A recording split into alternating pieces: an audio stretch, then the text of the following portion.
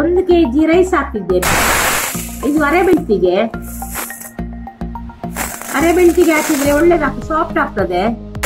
ಒಂದು K G ರೈಸಿಗೆ ಒಂದು ಪಾವು ಉದ್ದ ಹಾಕ್ತಿದ್ದೇನೆ ಈಗ ವಾಶ್ ಮಾಡಿ.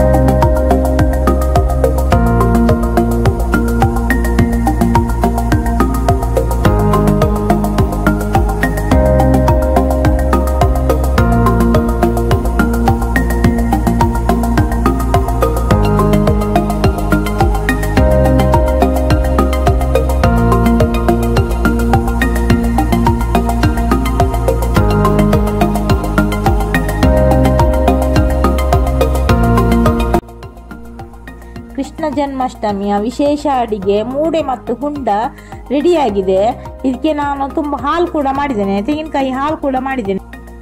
ನಿಮ್ಮೆಲ್ಲರಿಗೂ ಶ್ರೀಕೃಷ್ಣ ಜನ್ಮಾಷ್ಟಮಿಯ ಶುಭಾಶಯಗಳು. ನಿಮಗೆ ಈ ರೆಸಿಪಿ ಇಷ್ಟವಾದರೆ ಲೈಕ್ ಮತ್ತು ಶೇರ್ ಮಾಡಿ. Thank you